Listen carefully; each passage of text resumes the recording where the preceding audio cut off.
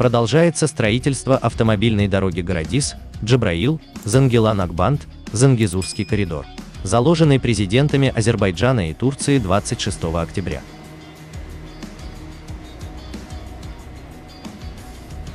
Автодорога Городис, Джабраил, Зангелан, Акбанд является одним из проектов дорожной инфраструктуры, реализуемых в Карабахском и Восточно-Зангизурском экономических районах, и будет играть важную роль в социально-экономическом развитии освобожденных регионов.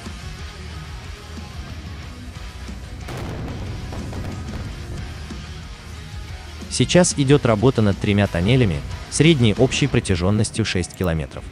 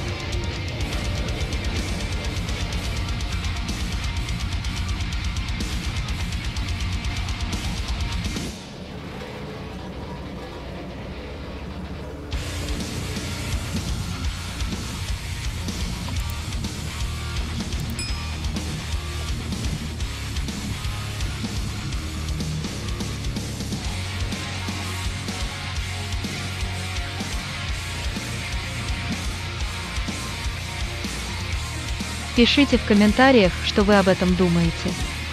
Спасибо за просмотр. Не забудьте подписаться на наш канал и поставить лайк этому видео.